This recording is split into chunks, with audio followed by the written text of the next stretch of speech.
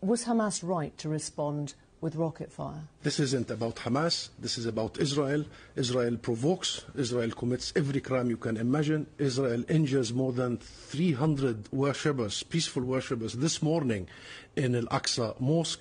Israel uh, uh, uh, evicts people of their homes, continues with its sheer violations of the very basic rights of people, and then they try to blame the react rather than the act. And we must really visit the root causes of all this, and the root cause of all this is Israel's insistence on the very denial of people's basic rights. Tonight, as we speak, Emily, people are demonstrating in Palestine all over, including uh, cities inside okay. the green line in 48 Palestine, in Jaffa, in Haifa, in Nazareth. Why do you think people are demonstrating? They're fed up. Do you condemn the rocket attacks by Hamas? I condemn and I, I condemn Israeli aggression. I mourn for the 20 people who were murdered in Gaza only tonight. Nine of them are children.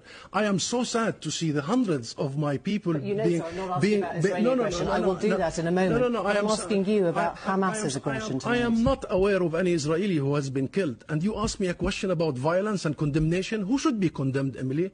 Who should be condemned?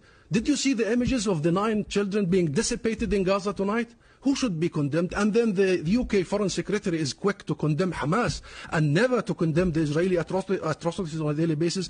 We are sick and tired of the double standards, okay. and we have to call it right. Always the story begins when Palestinian reaction happens, as if it started with Hamas. Look at your question. Your question is about Hamas, rockets, rockets. But that's because it, I'm talking to you. No, no, no, Emily, no, Emily, no, Emily. I have done, I have done many interviews. It starts with the Palestinian reaction, with the symptom of the illness. It never visits the illness. The illness is that this state, Israel, the occupying state, has been uh, applying draconian measures against our people in every sense, depriving them the right to move, the right to own their property, the right to work, the right to uh, vote in, in, a, in a free elections, including in East Jerusalem, oh. every right you can imagine, and not only, by, by the way, inside the occupied territories, but even inside Israel itself.